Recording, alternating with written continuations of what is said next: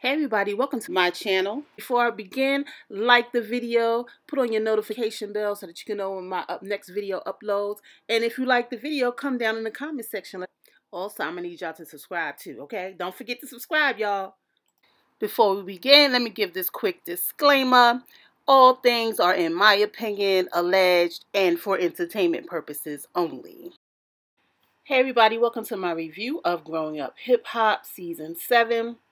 So we open up with Brianna. She's rehearsing with her band. Sequoia comes in and they talk about performing at the 59th hip hop or the 50th hip hop anniversary. Sequoia says she's not sure if she's going to perform because of the tension between her, her mom, and uh, Layzie Bone. Is it Layzie Bone or Bizzy Bone? Layzie Bone, I think it is. Brianna says she's throwing an all girls event and plans to invite Cree, although she thinks she's unstable. Brianna says she's trying to be a nice person because she wants to get into heaven. Shakoya feels a way about Cree talking about her dad. She feels Cree say things that are out of line, especially since they are not close. Then we have JoJo, who's in a meeting with 3 is 4 Company. It's a branding company and content company. He is one of the co-founders.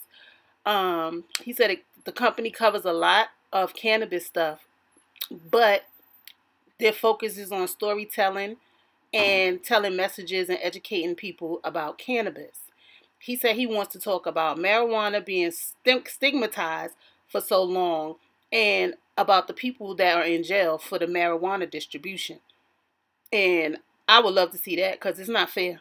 People making money off and people done did some bids for these marijuana distribution charges. Um, he said he's talking about moving to LA to do the business because, you know, marijuana is not legal in New York. So he said he's looking at houses, but he did not tell his wife. Uh, you know that's a no-no. You can't do handle such a big transaction without telling your wife. Like, come on, JoJo.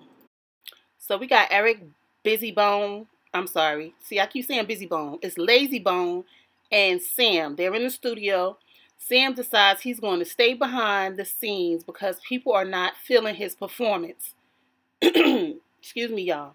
I have to agree. Like, you're weird. Anyway, Bone and Eric agreed that he would be a good stay at home producer writer. Like, I felt like that was shade when he said that. But when um Sam finished his song, playing his song for them, they was like, yeah, that's good. That's good. So Bone talks about the 50th year anniversary and would like Sam to do something, but don't know where him and Treach are at. So I guess Bone, Layzie Bone don't want to cause no friction within the anniversary celebration. Because Treach is not feeling Sam at this moment. Okay. They talk about Sam's case and of him carrying the pow pow and weed. Like, what was you thinking, Sam? And from my understanding, Egypt was with you at the time. Like, what was you thinking? Like, I, youth makes you feel invincible, but you feeling it now, I'm sure. So Sam's lets them know that um, he's going to start a snow cone truck. And Eric in his confessional said he don't think that's a good idea right now. Now he ain't really explain why it wasn't a good idea, but maybe it's because he about to do some time, you know, but I don't know. He didn't really explain it. So JoJo and Eric, they go to a house showing. The house is really nice, I have to say. Like from the outside, it didn't meet the inside. The inside looked really nice. So JoJo wants to put an offer in. We learned that they have been looking for homes in New York or the East Coast, but you know, kept losing the, losing the offers. Like the housing market is crazy since the pandemic. Like you could put your bid in and somebody outbid you, you lose the house. Anyway, he wants Tanise to be happy. He has a cool idea to surprise her and bring Tanise and the kids over to the house. And Tanise will be like, whose house is this? And he'll say, it's our house. uh, JoJo's house, he started joking. And it's cute and all, but that's a big financial responsibility and your wife should be included in the decision. So Vanessa and Cree meet up for lunch. Um, Cree is running late. Um, when she gets there, they briefly talk about Vanessa's surgery. Vanessa stands up to show her stomach, which is still wrapped up. So I don't know why you keep trying to show people your stomach and your stomach is wrapped up. I don't understand it. But anyway, when I say they talked about her stomach briefly, they talked about her stomach briefly. So, so they get to talking about the skate party and Cree said Brianna's words were slurring. And I'm like, girl, that's a reach. Brianna's words was not slurring. Her words was clear as day. Like, I don't like people who try to put stuff on people that ain't true. Like it's on camera. People can see it. So why would you say that? But anyway, Cree talked about the things that she's going through that nobody knows about, that she's going through a lot of deaths in her family. She said her great grandmother is not wanting to fight cancer anymore. And she says she is going to go get to see a therapist, which is a great thing. And I feel like everybody needs to go see a therapist when they mourn because you go through so many different stages of, you know, people going through death. Um, and another thing I wanted to say was, Cree, if you open up to the people, maybe they can understand what you're going through. Like you're on a reality TV show. This is the part that I don't understand about the people that's on a reality TV show. You're a part of an ensemble cast. Like you don't got to share with everybody, but put it out there what you're going through so you won't look like the mean girl because you're coming off as the mean girl who need a storyline. That's just in my opinion. Okay. Anyway, Vanessa invites Cree to Brianna's event. Cree said, no incense. Here she go throwing shade. Okay? The shade being thrown, but you're upset about Brianna talking about you. Like, come on, Cree. Like, it's fair game. You can't throw stuff out and don't expect nobody to hit your back with it, okay? Tanise and Aaliyah meet at a boutique to try on stuff. They talk about Eric and his gambling. We find out that Eric goes out to gamble Monday through Friday and comes in at 4 or 5 a.m. Girl, you good because it couldn't have been me, okay? Aaliyah feels like it's Eric money, so she has no say. Listen, y'all are one. That's your household, and if it's affecting your household, you need to speak up. Okay? Aaliyah resolution is to go on a shopping spree. I guess that'll make her feel better. Okay. They talk about giving more. Uh, they talk about having more children. Tanise feels like the men should snip it since they carry the babies. Aaliyah said, "You better do it before you move to LA." And Tanise is completely oblivious. And Aaliyah said, "Y'all buying a house, right?" Tanise said, "What are you talking about?" Aaliyah lets her know that Eric told her that JoJo put an offer in on the house. And Tanise says she is livid, and I don't blame her. So they show a short scene of Sam and his snow cone truck. He feels like he can make this work and be able to provide for his family and his children. Listen, I ain't mad at that. It was a quick scene and nothing else to talk about. I think he talked about how much money he made in just a couple of hours, but that was that on that scene.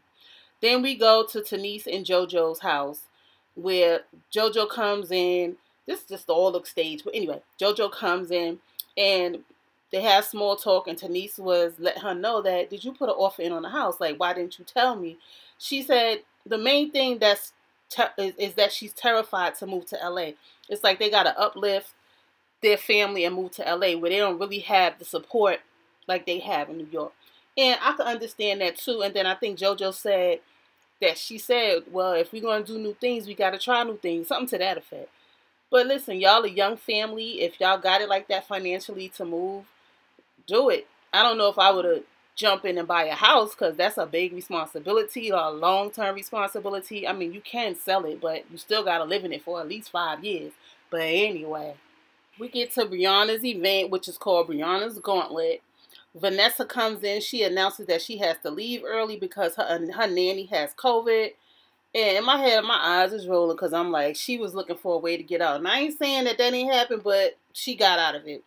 Cree was like, You're leaving me, Vanessa. Cree was acting stink and not participating in Brianna's game. Um, I can't stand party poopers. Like, you there, just enjoy yourself. She already came in with an attitude. Like, anyway, she should have participated in the games. Brianna extended an olive branch, but you stuck on whatever it is you stuck on. Brianna's question take Brianna questions have them take a shot and the question was take a shot if you are in other people's family business. And Cree was like everybody should take a shot, but she was the main one that didn't take a shot. So they show a flashback to when Cree um, put her two cents in between Shakoya and Angela's beef, which was really no beef, but put herself into it, but she ain't had nothing to do with it. So anyway, TT asks about the skate party. Shakoya brings up that Layzie Bone showed up uninvited, and Shakoya explains that her issue is with her mom still being married and moving on. Shakoya feels that it should be a clean break for all parties. She feels like her mom should get a divorce and then she should move on. And it'll be better for all parties involved. And I could say I agree, but it all it doesn't always work like that in life. Like stuff happens. Anyway, Cree butts in and say, make it make sense. Did your mother have a problem when you had a baby out of wedlock? For me, it's the dig, okay? It's the dig she taking and the way she's delivering is the problem. Like she definitely could have said that a different way to make Cree understand, like, you know, things happen in life. But you know, Cree coming off as the mean girl. I mean, really. So Brianna asks, what's the issue? Brianna goes out to talk to Cree because they didn't want to feel like they was ganging up on her. Cree calls all of them fake at fake A bitches while Aaliyah, look at me, trying to edit myself and still say bitches. Anyway. while Aaliyah stands around looking like she just smoked something and wasn't really paying Cree any mind. She she was giving the weirdest look. But anyway, Brianna's thing is she felt misunderstood when she first came into the group and could not relate to the other ladies. Cree said it's not about relating to the ladies, it's about people's energy. Cree said she came in with Vanessa and they said they were going to be on positive energy. So she says, Cree says once Vanessa leaves, it's all about Cree and what Cree is saying. And that's a whole lie. Like you you playing yourself right now. You made it all about you. Brianna said that it's like it's not about you, Cree. Like the show is not about you. Cree gives, you know, that she needs camera time to me and a storyline. She also gives me, I'm better than all of these women. I would never, but wait until your stuff comes out and on Front Street. Let's see how you respond.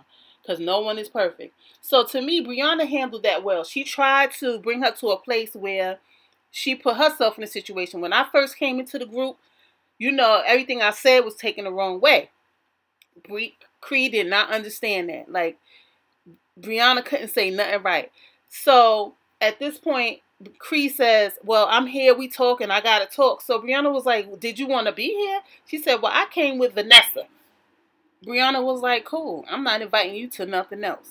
And then she walks away and that and then what's his name? Eric's wife walk away.